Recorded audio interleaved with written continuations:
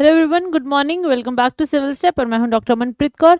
बच्चे जैसे हमने अपने पिछले सेशंस में इकोलॉजी और एनवायरनमेंट को डिस्कस किया था तो आज के सेशन में हम बायोडाइवर्सिटी से स्टार्ट कर रहे हैं। इनिशियली हम कंसेप्ट उठाएँगे and slowly and slowly will be taking up some of the you know data based question also so let start with today's class ठीक है जी बच्चे? तो सबसे पहले तो ये हमारी uh, अब हमारा जो गूगल प्ले पे ये हमारी ऐप का नाम है ठीक है ना? इसे डाउनलोड करके आप अपनी यूपीएससी की एचसीएस की यूपीएससी ईपीएफओ एंड एसएससी की तैयारी कर सकते हैं। Plus you can get your preparation for C S I R S O and I B A C I O के एग्ज़ाम्स की तैयारी भी आप हमारे साथ कर सकते हैं। और इस इन सारी तैयारी के लिए आपको पर्सनलाइज मेंटरशिप मिलेगी, आपको टीचर्स ठीक है ना? लाइक वन ऑन वन आपको तैयारी करवाएँ, करवा सकते हैं, ठीक है ना? लाइव ऑनलाइन लेक्चर्स भी मिलेंगे plus you have got the option of having study material also soft आपकी हार्ड कॉपी भी मिलेगी और आपको सॉफ्ट सॉफ्ट मटेरियल कॉपी का भी प्रोविज़न है, ठीक है ना? देन मॉक टेस्ट भी आपके होंगे, ठीक है ना? Plus more over you are getting free current affairs magazine also daily current affairs की क्लासेस भी होती हैं प्लस मंथ एंड पे आपको करंट अफेयर्स मैगजीन भी मिलती है. And at the end of the week you are having a prison of revision of you know weekly doubt session also अगर आपको लगता है कि आपको कुछ नहीं समझ आ रहा है तो आप अपने डाउट्स को क्लियर आउट भी करवा सकते हैं टीचर्स के थ्रू ठीक है जी? तो let's start with today's class तुम्हारा पहला क्वेश्चन है कि which of the following are the causes of biodiversity loss की जो हमारी बायोडाइवर्सिटी होती है, ठीक है ना? अगर in case there are some of the factors ठीक है जिसकी वजह से बायोडाइवर्सिटी का लॉस होता है तो इनमें से उनमें वो कौन कौन सा फैक्टर है जो बायोडाइवर्सिटी को खत्म करने में, ठीक है ना? They that they are playing a role so सबसे पहले है floods second is landslides and third is rivalry among the species इन तीनों में से कौन सा आपको लगता है कि सही ऑप्शन है? ठीक है ना? सही कॉज है, जिसकी वजह से बायोडाइवर्सिटी लॉस होता है? फ्लडिंग की वजह से लैंडस्लाइडिंग की वजह से, या फिर स्पीशीज इंटर स्पीशीज राइवलरी की वजह से? ठीक है जी? तो क्या एक ओनली वन इज़ करेक्ट और ओनली टू इज़ करेक्ट या फिर ओनली थ्री और नन ऑफ़ द इनमें से कोई भी करेक्ट नहीं है, सारे ही गलत हैं। हाँ जी बच्चे? हाँ जी। बताइए आंसर क्या है? Which among the following are the causes of biodiversity loss floods landslides और rivalry among the species so इसका आंसर बनता है हमारा only three why only three because all these three are the causes of rivalry among the species flooding हो रही है पानी आ गया है तो यू you नो know, आपके जितना भी एनिमल लाइफ है उसकी डेथ हो जाएगी प्लांट्स लाइफ है उनकी डेथ हो जाएगी लैंडस्लाइड हो रही है तो top top layer of the soil खत्म हो रही है तो आपकी प्लांट लाइफ खत्म हो जाएगी। प्लस जहाँ पे इंटरेस्ट जहाँ पे स्पीशीज बहुत ज़्यादा है तो इंटर स्पीशीज राइवलरी होती है कि दो शेर आपस में लड़ रहे हैं या फिर टाइगर्स लड़ रहे हैं तो उस राइवलरी की वजह से भी आपकी बायोडाइवर्सिटी लॉस होता है। हाँ जी गुड मॉर्निंग बच्चे। So answer is option number C तो only three next which among the following is an example of ex situ conservation ठीक है ना? ये आपके चार ऑप्शन हैं। इन चारों में से कौन सा ऑप्शन आपका एक्स सी टू कंजर्वेशन का होता है? ठीक है ना? क्या ये सेक्रेट ग्रूव्स हैं वाइल्ड लाइफ सेंचुरीज हैं सीड बैंक्स हैं या फिर नेशनल पार्क्स हैं? हाँ जी बच्चे answers from you I want answers from you बताइए बच्चे, क्या है इसका आंसर नेशनल पार्क्स हैं सीड बैंक्स हैं वाइल्ड लाइफ सेंचुरीज हैं या फिर सेक्रेट ग्रूव्स हैं? क्या है इसका आंसर बेटा? Consider this as a mock test ये आपका मॉक टेस्ट है एनवायरनमेंट का, जो कि वीक में एक बार होता है। दस क्वेश्चन ही डिस्कस करने हैं। तो जितना आप ज़्यादा, जितना अटेम्प्ट करोगे, उतना आपके चांसेस हैं कि आपके ये क्वेश्चंस आपके प्रीलिम्स में करेक्ट होंगे। जितना हम पढ़ेंगे, पढ़ के करेक्ट होने बहुत पॉसिबिलिटी बहुत कम होती है। जितना लिखोगे, उतनी ही ज़्यादा करेक्ट होने के चांसेस हैं। हाँ जी बच्चे ex situ conservation so we have getting an answer of wildlife sanctuary. Option number b, wildlife sanctuary. हाँ जी anybody else? अच्छा हंड्रेड परसेंट है बेटा वाइल्ड लाइफ सेंचुरी हाँ जी एनी बाकी बताइए बच्चे। इतने बच्चे आप देख रहे हो बेटा। गिव मी योर आंसर्स जल्दी बताइए। Ex situ conservation carefully read what is ex situ conservation और फिर बताइए सेक्रेट ग्रूव है वाइल्ड लाइफ सेंचुरीज है सीड बैंक है या फिर नेशनल पार्क है? क्या है इसका answer let's wait for one more minute then will be discussing the answer D national parks okay हाँ जी एनीबडी एल्स बोलिए बेटा, जल्दी। एक्सी टू कॉन्जर्वेशन में क्या आता है? तो बेटा your answer is option number C seed bank ठीक है जी, पहले तो बिकॉज़ मुझे लग रहा है कि आपको थोड़ा सा यहाँ पे कंफ्यूजन है कि what is ex situ conservation ex situ conservation होती है बेटा आपकी off site conservation off side conservation होती है कि जो ऐसी वो प्रोविज़न जो कि नेचर ने नहीं प्रोवाइड की है. ठीक है ना? जो नेचर ने नहीं की है, हमने उस नेचुरल हैबिटेट से स्पीशीज को उठा के किसी अलग हैबिटेट में हम उन्हें कॉन्जर्व कर रहे हैं, हम उन्हें प्रिजर्व कर रहे हैं। That is your ex situ conservation ठीक है ना? और सीड बैंक सीड बैंक क्या होता है? वो एक लेबोरेटरी होती है जहाँ पे टेम्परेचर इतना कम होता है कि जो प्लांट्स के सीड्स होते हैं, वो डोमेंसी स्टेज में आ जाते हैं। उनका मेटाबॉलिज्म स्लो किया जाता है, ताकि उनको प्रिजर्व किया जा सके आगे आने वाले hundred and thousands of years के लिए, ठीक है ना? ताकि वो जो स्पीशीज है, हमारे प्लांट स्पीशीज है, वो एक्सटेंक्ट ना हो पाए, ठीक है ना? अब ये क्या है? आप उन्हें, उनके नेचुरल हैबिटेट से उठा के लेबोरेटरी में उनके सीड्स को प्रिजर्व कर रहे हो। That is called an ex situ conservation ठीक है ना? बच्चे, जो आप कह रहे हो कि वाइल्ड लाइफ सेंचुरीज हैं नेशनल पार्क्स हैं, ठीक है ना? ये बेटा आपके इन सिटू कॉन्जर्वेशन कॉन्जर्वेशन में आती हैं। इन सीटू का मतलब होता है आपका ऑन साइड कॉन्जर्वेशन मीन्स जो वो एरिया वो हैबिटेट जो कि नेचर ने ही प्रोवाइड किया हुआ है, वो आते हैं आपके ऑन साइड कॉन्जर्वेशन हाँ बच्चे, मैं हिंदी में बोल रही हूँ कि जो नेचर ने जो एरिया प्रोवाइड किया हुआ है, ठीक है ना, जहाँ पे फॉर एग्जांपल जंगल है, ठीक है ना, अगर एक दो तरीके होते हैं ना शेर को प्रिजर्व करने के लिए, एक तो आप जंगल में शेर है, अब उसे जंगल में ही बचा रहे हो। दूसरा तरीका क्या है, जंगल से शेर को उठाओ और जू में प्रिजर्व करो। ठीक है तो ये क्या है? जंगल में ही उसे बचाना। तो उसके लाइक उसकी गवर्नमेंट्स की कोशिश होती है कि उसको मारे ना कोई, ठीक है ना? अगर बीच में इन इंटर स्पीशीज रेवेलरी हो रही है तो आप उसका भी ध्यान रख रहे हो कि भाई रेवेलरी की वजह से वो स्पीशीज ना मर जाए। तो वो क्या होगी आपकी in situ conservation on side conservation ठीक है ना? ऑन उसके ऑपोजिट क्या होगी? एक्स सिटू कॉन्जर्वेशन जू में आप एक शेर को बचा रहे हो। आप जू में जाते हो, जू में आप शेर भी देखते हो, जू में आप हाथी भी देखते हो, जू में आप राइनोसरस भी देखते हो पैंडास भी देखते हो। तो वो क्या है? दैट इज़ एक्सिटो कॉन्जर्वेशन कि वो उनका नेचुरल हैबिटेट नहीं है, वो उनकी नेचुरल रहने की जगह नहीं है। आर्टिफिशियली क्रिएट करके उन्हें वहाँ रखा गया है। ठीक है ना? तो that is ex situ conservation और सीड बैंक इसी तरीसी का ही एग्ज़ाम्पल है। ठीक है ना? बाकी वाइल्ड लाइफ सेंचुरीज हो गए नेशनल पार्क हो गए सेक्रेड ग्रूव हो गए ये सारे के सारे इन सीटू कॉन्जर्वेशन है। अब सेक्रेड ग्रूव क्या होते हैं? सेक्रेड ग्रूव होते हैं, वो जंगल। ठीक है ना? जब जंगल है मतलब इन सिटू है। ओके जी?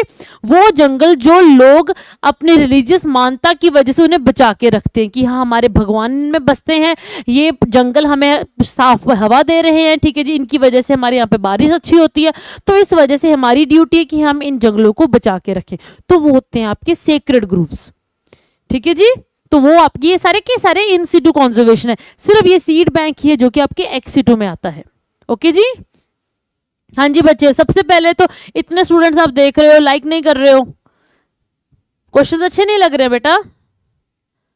जल्दी से आई वॉन्ट मोर लाइक्स और and I want more answers from you also जितने आंसर्स करोगे बेटा, उतना ही पेपर क्लियर होगा। जितना चुप करके बैठ के देखोगे पेपर नहीं क्लियर होगा। बिकॉज़ पेपर उन्हीं बच्चों का होता है जो मॉक्स देते हैं। सिर्फ़ पढ़ने से पेपर नहीं होता है, ठीक है जी? So, which among the following, uh, now this is another example, which among the following is related to ex situ conservation of the threatened plants and animals, ठीक है ना दूसरा एग्ज़ाम्पल है ये अब इन चार ऑप्शंस में से आपने बताना है कि एक्स सिटू का एग्ज़ाम्पल क्या है क्या वो बायोडाइवर्सिटी हॉटस्पॉट्स होते हैं ठीक है जी क्या वो वाइल्ड लाइफ सफारी पार्क्स होते हैं एक्सिटू एमेजोन का रेन फॉरेस्ट हिमालय का रीजन हिमालयन रीजन ठीक है जी। अब इन चारों में से एक्स सिटू में क्या आएगा बेटा? Biodiversity hotspots wildlife safari parks we have got the Amazon rain forest और we have got the Himalayan region हाँ जी बच्चे, क्या है इसका आंसर जल्दी बताइए। Option number A biodiversity hotspot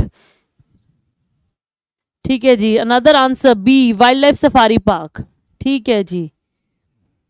हाँ जी बटे बाकी बताइए, इतने स्टूडेंट्स हैं बेटा I want answers from you बैठ के हमने सिर्फ़ क्लास सुननी नहीं है पार्टिसिपेट करो।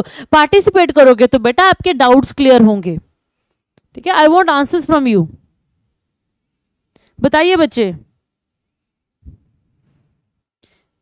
Option number C we have got the Amazon rain forest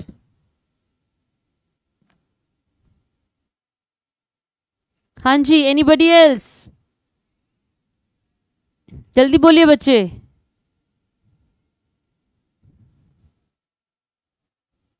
it's okay बेटा it doesn't matter that you are a first timer hesitate क्यों करना है? फ़र्स्ट टाइम में फ़र्स्ट अटेम्प्ट में भी तो प्रिलिम्स होते हैं बहुत बच्चों के। ठीक है ना? जितना लिखोगे, उतने ही आंसर्स अच्छे आएँगे। ठीक है? Option number A biodiversity hotspot एक बच्चे का आया था सी अमेजोन का rain forest A biodiversity hotspot हाँ जी anybody else let's wait for one more minute जल्दी कीजिए बेटा। सो बायोडाइवर्सिटी हॉटस्पॉट क्या होता है बच्चा? वो एरिया वो एरिया है, ठीक है ना? लिमिटेड नहीं है बहुत बहुत बड़ा एरिया होता है, जहाँ पे जो स्पीशीज होती हैं, वो बहुत स्पेसिफिक होती हैं कि इस एरिया में यही स्पीशीज पाई जाएँगी। अगर उस स्पीशीज को आप वहाँ से बाहर निकालोगे ना तो वो स्पीशीज मर जाती हैं। ठीक है ना? वो स्पीशीज उस पर्टिकुलर रीजन की स्पेसिफिक होती हैं। ठीक है जी? वो हॉटस्पॉट्स उस रीजन को बोला जाता है। ठीक है ना? आप एक स्पीशीज है और बाहर निकालोगे तो मर जाओ, मर जाएगी वो स्पीशीज इसका मतलब है कि वो रीजन अपनी स्पीशीज रिचनेस के लिए बहुत वो है। बहुत वो लाइक उसकी बहुत हम कहते हैं कि उसका क्राइटेरिया होता है किसी भी रीजन को हॉटस्पॉट डिक्लेयर करने के लिए। ठीक है ना? तो वो क्या एक रीजन है, पूरा का पूरा रीजन है। तो this biodiversity hotspot can never be ex situ example आपका आता है Western Ghats Western Ghat is one of the hotspot of India चार हॉटस्पॉट्स हैं हमारी कंट्री में. वेस्टर्न घाट्स हैं नॉर्थ ईस्ट इंडिया है अंडमान आइलैंड्स हैं एंड हिमालयन रीजन है. ये हमारे हॉटस्पॉट्स हैं. तो can you call a Western Ghat और a North East India as an ex situ conservation वो तो इन सी टू कॉन्जर्वेशन है ना? That is an in situ conservation पूरे के पूरे नॉर्थ ऑफ़ महाराष्ट्र से लेके केरला तक आपकी वेस्टर्न घाट्स की चेन आ रही है. माउंटेन चेन है. वो आपकी इन सिटू कॉन्जर्वेशन है. If you want to conserve that region ठीक है ना? तो वो इन सीटू वो एक्स तो हो ही नहीं सकती। बिकॉज़ अभी हमने डिस्कस किया है इन सीटू और एक्स में क्या डिफरेंस है। तो आई थिंक अब आपको यहाँ पे तो कोई डाउट नहीं होना चाहिए कि इन सीटू क्या होता है और एक्स क्या होता है। फिर आता है एमेजोन का रेन फॉरेस्ट अगर वेस्टर्न घाट्स इंडिया का बायोडाइवर्सिटी हॉटस्पॉट है तो अमेजोन के रेन फॉरेस्ट साउथ अमेरिका का बायोडाइवर्सिटी हॉटस्पॉट है।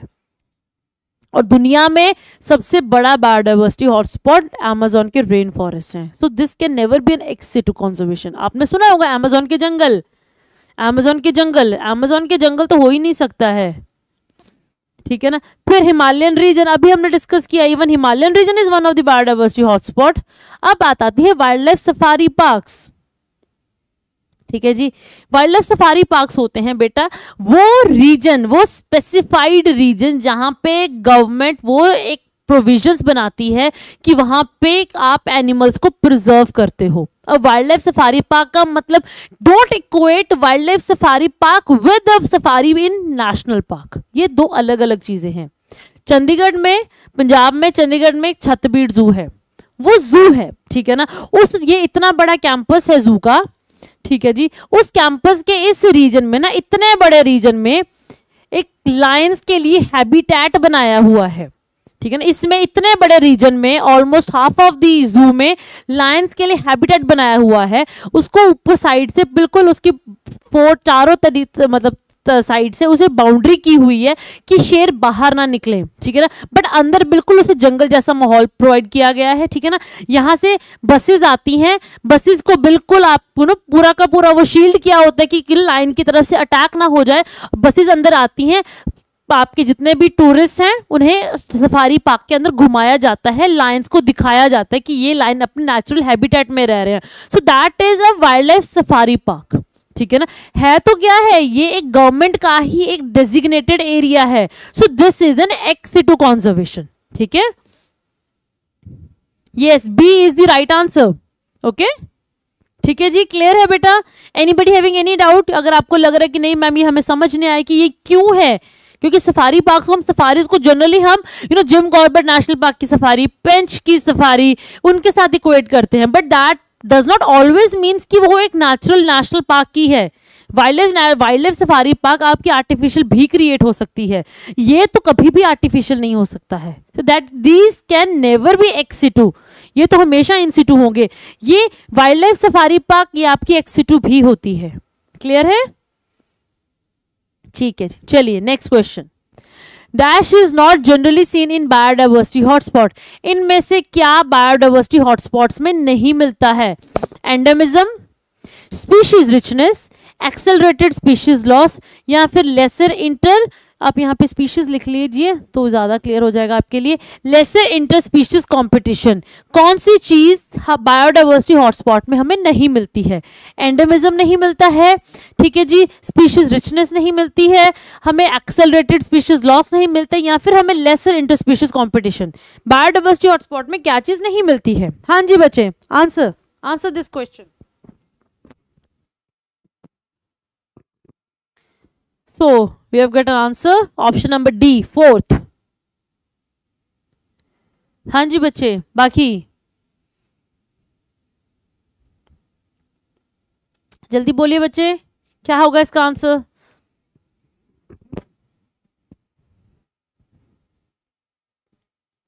अनदर डी हाँ जी प्लीज़ आंसर द क्वेश्चन बेटा, जितना आंसर करोगे, उतने आपके कंसेप्ट क्लियर होंगे.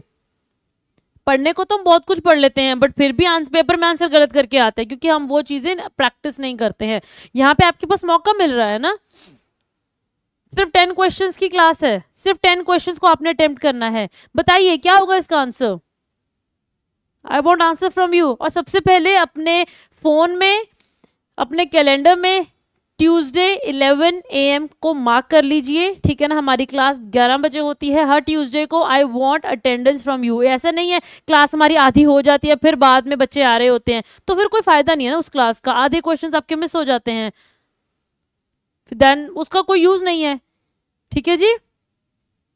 चलिए answer is your better less inter species competition जो एरिया बायोडाइवर्सिटी हॉटस्पॉट है, इसका मतलब है कि वहाँ पे बहुत ज़्यादा स्पीशीज हैं। जब स्पीशीज बहुत ज़्यादा हैं तो मतलब है स्पीशीज रिचनेस होगी। और वहाँ की स्पीशीज वहीं पे सरवाइव करेंगी, बाहर नहीं सरवाइव करती हैं। चंदन का पेड़ वेस्टर्न घाट्स में ही सर्वाइव कर सकता है फॉरेस्ट में ही सर्वाइव कर सकता है। नॉर्दर्न इंडिया में लेकर आओगे तो नहीं सर्वाइव करेगा। बहुत उसका जो सर्वाइवल रेट है वो बहुत कम होता है। इसका मतलब वो एंडेमिक्स एंडेमिक स्पीशीज है। एंडेमिज्म शो करता है। गोल्डन लंगूर वहीं पे ही होगा। आपको बाहर कहीं नहीं मिल सकता है। ठीक है ना? आप उतनी आर्टिफिशियल जो मतलब क्लाइमेट है वो जो मतलब उनका जो एरिया है उसे आर्टिफिशियली नहीं क्रिएट कर सकते हो। वो सस्टेनेबल नहीं है तो वो स्पीशीज बाहर नहीं सस्टेन कर सकती हैं ठीक है ना? देन देन एक्सेलरेटेड स्पीशीज जितनी ज़्यादा स्पीशीज रिचनेस होगी उतनी ज़्यादा स्पीशीज लॉस भी होगा। क्योंकि स्पीशीज इतनी ज़्यादा है तो यू you नो know, आपके क्लाइमेटिक कंडीशंस के लिए कॉम्पिटिशन होता है। फ़ूड के लिए कंपटीशन होता है फ़ूड चेन होती है फ़ूड वेब होता है तो वहाँ पे कंपटीशन होता है सर्वाइवल ऑफ़ द फिटेस्ट ही वहाँ पे बचता है। सो so, स्पीशीज का लॉस भी इसलिए बहुत ज़्यादा होता है। इसी वजह से बायोडाइवर्सिटी हॉटस्पॉट्स को प्रिजर्व करना बहुत ज़रूरी है। ठीक है ना? तो ये तीनों ही इसका आंसर है। ये नहीं है। क्यों नहीं है? क्योंकि स्पीशीज इतनी ज़्यादा है तो आपस में लड़ेंगे भी ना तो लेसेस भी इंटर स्पीशीज कॉम्पिटिशन नहीं it will be more inter species competition ठीक है जी? तो this is the wrong answer so this is मतलब this is the correct option कि lesser interspecies competition is not seen in biodiversity hotspots. Clear है? Good morning बच्चे। चलिए। Next, dash is defined as an ecological state of species being unique to specific geographic location.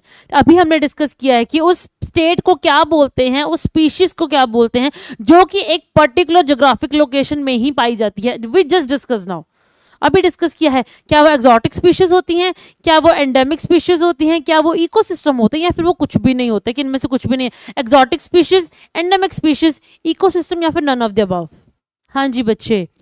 Endemic हाँ जी। Answer कर, बच्चे answer कीजिए। बैठने से नहीं क्लियर होगा पेपर एक्सपीरियंस से बता रही हूँ बेटा, जितना आंसर करोगे, उतने हाई प्रोबेबिलिटी होगी आपका प्रॉब्लम्स क्लियर करने के। अदरवाइज़ नहीं होगा। Okay we have got an answer of C also हाँ जी will wait for one more minute and then will be discussing जल्दी। क्या बात है? क्वेश्चंस नहीं पसंद आ रहे हैं। नहीं आता है तो लिख दीजिए कि ma'am we don't know we are skipping this answer चुप बैठने से नहीं होगा बेटा। पार्टिसिपेट पार्टिसिपेट लिखो लिखो लिखो। चलो।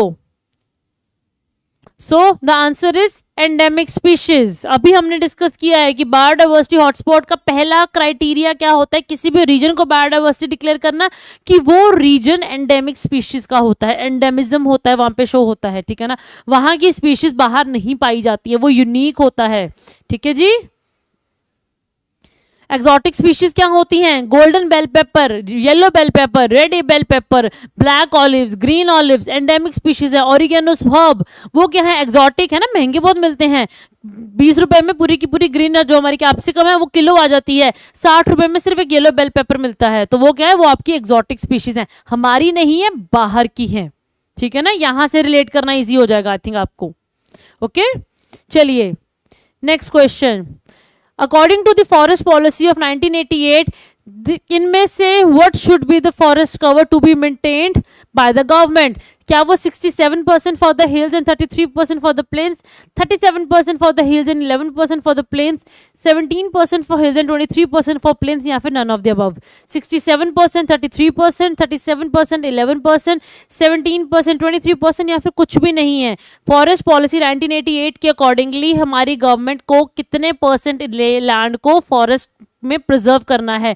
हिल्स का अलग है प्लेन्स का अलग है. हाँ जी बेटा so we have got an answer of B which is 37 percent for hills and 11 percent for plains okay anybody else हाँ जी बेटा आंसर कीजिए, जल्दी। Be quick in your answer you don't know it's okay it's okay completely okay जहाँ पे जहाँ पे you have admitted that you don't know इसका मतलब है कि आपने अपना एक नेगेटिव बचा लिया। ठीक है जी? एडमिटेड इसमें कुछ गलत नहीं है। ये तो हम इंटरव्यू में भी कह देते हैं कि sorry sir we don't know ये कहना तो हमें आना चाहिए बिकॉज़ हमने प्रिलिम्स में, अगर हमने प्रिलिम्स क्लियर करना है तो नेगेटिव को कम करना होगा तो नेगेटिव कम होगी, तभी जब हम एक्नॉलेज करेंगे कि हमें ये नहीं आता, हमने ये तुक्का नहीं मारना है। And same goes for your interview also वहाँ पे भी हमें, हम नेगेटिव हम बोलते हैं कि, sir I am sorry we don't know तभी आपका इंटरव्यू क्लियर होगा। हाँ जी बच्चे so we have got an answer A 67 percent for the hills and 33 percent for the plains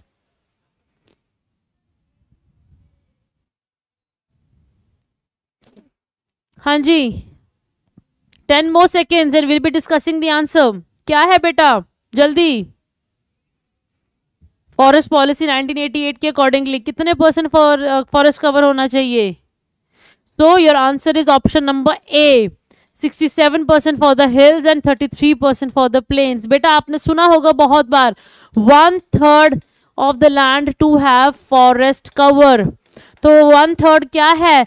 planes क्या एरिया वन थर्ड मतलब one third of the plains to have forest cover one third में क्या आएगा आपका? Thirty three percent जो आपका hilly reason है जम्मू कश्मीर हो गया, हिमाचल हो गया, उत्तराखंड हो गया, सिक्किम है, अरुणाचल है, असम है, जितनी भी आपकी हिली स्टेट्स हैं, वहाँ पे आपका sixty seven percent of the region to have forest cover ठीक है? उससे अगर कम कर रहे हो तो मीन आपका जो आपकी जो इंफ्रास्ट्रक्चर डेवलपमेंट होगी वो सस्टेनेबल नहीं होगी। You you are playing with the ecosystem you're playing with the environment. So, national forest policy के accordingly 67 परसेंट हिली एरिया का और 33 परसेंट प्लेन एरिया का आपका फॉरेस्ट कवर होना चाहिए। ठीक है जी? Next where can one find the greatest biodiversity on the earth earth में सबसे ज़्यादा बायोडाइवर्सिटी हमें कहाँ पे मिलती है?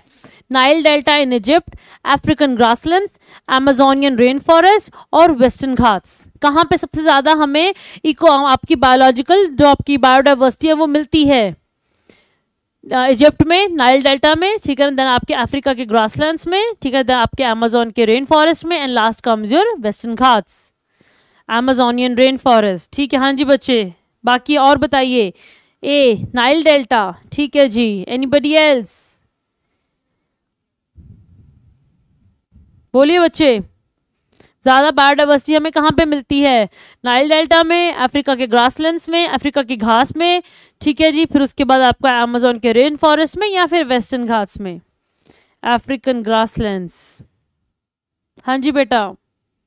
Ten more seconds and will be discussing the answer जल्दी। बेटा, लिखो, अपना आंसर्स लिखो ना। What are you waiting for तो the answer is your Amazon के जंगल। सबसे ज़्यादा बायोडाइवर्सिटी आप हमें यहाँ पे मिलेगी। हाँ जी ए ऑप्शन क्यों नहीं है? इजिप्ट में क्या है? डेजर्ट है। डेजर्ट में कहाँ से आपको बायोडाइवर्सिटी मिल जाएगी? बारिश ही नहीं हो रही है वेजिटेशन ही नहीं है तो you can not have biodiversity over this region same goes for African grassland also grassland क्या होते हैं आपका? फॉरेस्ट और डेजर्ट के बीच में इकोटोन है। इसका मतलब है कि यहाँ पे बायोडाइवर्सिटी फॉरेस्ट से हमेशा कम होगी। हाँ दो डेजर्ट से ज़्यादा होगी, बट फॉरेस्ट से तो कम होगी। यहाँ पे तो आपके पास ऑप्शन में दो फॉरेस्ट रीजन है, ठीक है ना? तो अफ्रीकन ग्रासलैंड तो हमेशा कम होगा, ठीक है जी? फिर आता है अमेजोन के रेन फॉरेस्ट और वेस्टर्न घाट्स, ठीक है जी? ये दोनों ही हॉटस्पॉट्स हैं बायोडाइवर्सिटी हॉटस्पॉट्स हैं बट अमेजोन के रेन फॉरेस्ट की बायोडाइवर्सिटी वेस्टर्न घाट इंडिया के वेस्टर्न घाट से कहीं ज़्यादा है। ठीक है जी। अर्थ में अगर हम सबसे ज़्यादा बायोडाइवर्सिटी की बात करें तो वो हमारे वेस्टर्न का अमेजोन के रेन फॉरेस्ट में है। हाँ जी, बेटा इट्स नॉट जस्ट अबाउट क्योंकि वेस्टर्न घाट्स भी आप इक्वेटर पे ही समझो, ठीक है ना? क्योंकि आपका जो हम, हमारे जो वेस्टर्न घाट्स हैं, वो भी तो हमारा इक्वेटर ट्रॉपिक ऑफ़ कैंसर के बीच में ही है, ठीक है ना? बट जनरली बिकॉज़ ऑफ़ जो रीजन है अफ्रीका के जो अमेजोन के जंगल है, वहाँ पे ज़्यादा बायोडाइवर्सिटी मान पाई जाती है, क्योंकि वो रीजन बहुत बड़ा है। वेस्टर्न घाट्स की बेल्ट बहुत पतली है, ठीक है ना? अगर ये आपका पेनिसुलर इंडिया तो वेस्टर्न घाट्स तो सिर्फ़ आपका इतना है। ये रीजन है आपके वेस्टर्न घाट्स का, ठीक है ना? और वहीं अगर आप साउथ अमेरिका देखो, ठीक है ना? तो ये सॉरी ऐसा साउथ अमेरिका है तो ये सारा का सारा रीजन आपका अमेजोन के जंगलों का है तो वहाँ पे नेचुरल है बायोडाइवर्सिटी ज़्यादा होगी, ठीक है जी? चलिए the major difference between the six and the previous five extinction is the major difference between the six extinction जो कि चल रही है, और पिछली पाँच एक्सटिंक्शन में क्या है कि that the six extinction it mainly affects the plants इसमें सिर्फ़ इस जो एक्सटिंक्शन चल रही है, इसमें सिर्फ़ प्लांट्स खत्म हो रहे हैं, ये सिर्फ़ आइलैंड्स पे हो रही है, ये बहुत तेज हो रही है, या फिर ये सिर्फ़ ह्यूमन एक्टिविटीज़ की वजह से है। ठीक है जी? C it is occurring at a faster rate right हाँ जी, और बच्चे, बताइए। D C. हाँ जी बेटा। एनीबडी एल्स हमारे पास ऑप्शंस आ रहे हैं डी का और सी का। हाँ जी anybody else the main difference between six extinction which is going on जिसे हम होलोसीन एक्सटिंक्शन कहते हैं, ठीक है जी? और जो पहली पाँच एक्सटिंक्शन हो चुकी हैं, उसमें क्या फ़र्क है?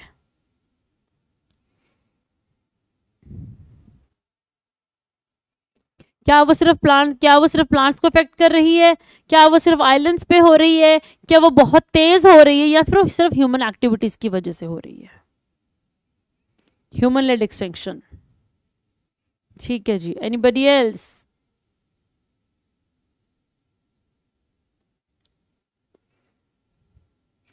सो बेटा the answer is option number C occurring at a faster rate extinction बेटा नेचुरल कॉजेज से हो रही है।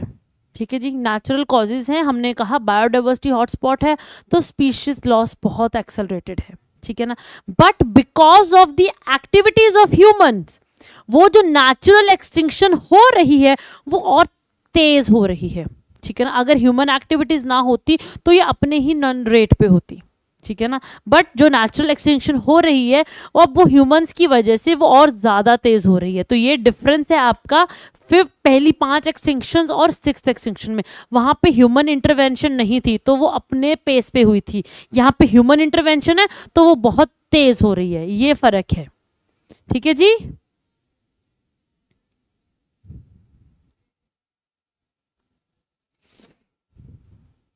अब ये है आपकी प्रीवियस फाइव एक्सटेंशन ठीक है? जब हम पाँच एक्सटेंशन की बात करते तो ये आपकी पाँच एक्सटेंशन हैं। काइंडली इनका स्क्रीनशॉट ले लीजिए और अपने नोट्स में ऐड कर लीजिए। ऑडोविशन साइलोरन एक्सटेंशन थी डेवोनियन एक्सटेंशन हुई है पर्मियन ट्रायासिक एक्सटेंशन थी ट्रायासिक जुरासिक एक्सटेंशन थी और the latest being the Cretaceous Paleogene extension ये पाँच एक्सटेंशन हो चुकी हैं, ठीक है ना? जल्दी से स्क्रीन ले लीजिए बच्चे। Again take the screen of this page also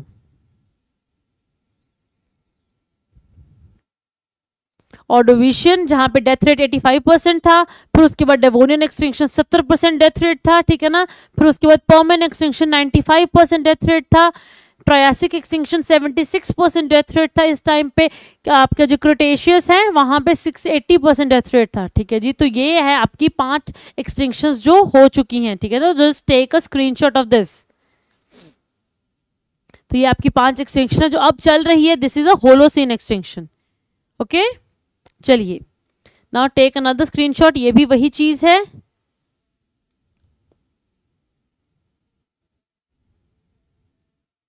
चलिए जी। Next the hotspots of biodiversity या फिर हम कह सकते हैं जो बायोडाइवर्सिटी हॉटस्पॉट्स होते हैं दे आर करेक्टराइज्ड बाय जो हमारे बायोडाइवर्सिटी हॉटस्पॉट्स होते हैं, उनकी क्या करेक्टरिस्टिक हैं? Low endemicity low rate of extinction low endemicity high rate of extinction high endemicity lower threat of extinction या फिर high endemicity and high threat of extinction बहुत ईजी क्वेश्चन है बेटा। सो so, इनमें से क्या करेक्टरिस्टिक होता है बायोडाइवर्सिटी हॉटस्पॉट का? High endemicity and high endemicity and high rate of high threat of extinction और your low threat of extinction option number C और ऑप्शन नंबर डी हाँ जी बच्चे, ओके इट्स ओके बेटा, नहीं आता है तो। रिवाइज कर रिवाइज कीजिए, यहाँ से आपके वो कंसेप्ट क्लियर होंगे। हाँ जी बेटा। पहले तो नेक्स्ट क्लास के लिए रिमाइंडर लगाइए next Tuesday 11 A M I want everybody सोच सोच के नहीं आना है हमने क्लास में कि जाएँ कि ना जाएँ पेपर क्लियर करना है तो जाना ही है। क्लास में फुल अटेंडेंस मुझे चाहिए। ठीक है जी? So the answer is high endemicity and high threat of extinction अभी हमने हमारे अभी क्वेश्चन होके हटा है कि बायोडाइवर्सिटी हॉटस्पॉट्स में क्या होता है? हाई एंडेमिसिटी होती है स्पीशीज रिचनेस होती है एक्सेलरेटेड स्पीशीज लॉस होता है, ठीक है ना? तो high endemicity and high threat of extinction ठीक है जी? चलिए the red data book which is often seen in news is release by आपने सुना होगा ना, ये स्पीशीज थ्रेटेंड है, ये स्पीशीज एंडेंजर्ड है, ये हाईली एंडेंजर्ड है, ये वलनरेबल है, ये नियर थ्रेटेंड है, ये ना एक्सटेंक्ट इन द वाइल्ड है, ये एक्सटेंक्ट हो चुकी है तो वो जो रेड जो डेटा बुक होती है, जहाँ पे ये सब कुछ लिखा होता है, वो कौन सी आपकी ऑर्गेनाइजेशन रिलीज़ करती है? Option number A I U C N B U N E P C U N D P D W E F कौन सी ऑर्गेनाइजेशन आपका ये रिलीज़ करती है? हाँ जी I U C N I U C N I U C N A I U C N yes बिल्कुल सही है बेटा। Answer is your I U C N ठीक है which is International Union for conservation of nature और इनके headquarters हैं आपके बेटा मॉर्जिस स्विट्जरलैंड में। ठीक है जी, ये आपका आईयूसीएन है, ये आपका रेड डेटा बुक को रिलीज़ करता है। क्लियर है बेटा? यस आईयूसीएन इन स्विट्जरलैंड चलिए now now comes your homework I want answers from you how many biogeographic zones does India have screenshot लीजिए बच्चा। और आई वॉन्ट आंसर्स ठीक है ना? Option number A five option number B six option number C eight option number B ten ठीक है ना? इनमें से आपका इंडिया में कितनी बायोजोग्राफिक जोन्स होती हैं? ठीक है जी आपके पास टाइम है बेटा नेक्स्ट संडे तक का ठीक है ना? हम ट्यूसडे को डिस्कस करेंगे सो so, आपके अपने आंसर्स को कमेंट बॉक्स में लिखिए ठीक है ना? सो so, जिनका सही आंसर होगा so that they will be personally like by me ठीक है ना? And I will be commenting on your answer ठीक है ना? So let's see how many of you get the right answers ठीक है ना? पाँच हैं, छह हैं, आठ हैं, दस हैं। स्क्रीनशॉट ले लीजिए बेटा। और I want answer from you how many biogeographic zone does India have next Sunday तक का आपके पास टाइम है। Okay ji? So that's all for today will meet you in the next class next tuesday 11 am in the morning. So, till then, goodbye. Take care. Keep studying and keep revising. So, thank you. और ये हमारा हमारा Telegram का channel है। अगर आप हमसे जुड़ना चाहते हैं तो यहाँ पे आप हमसे मिल सकते हैं। कि जी? Thank you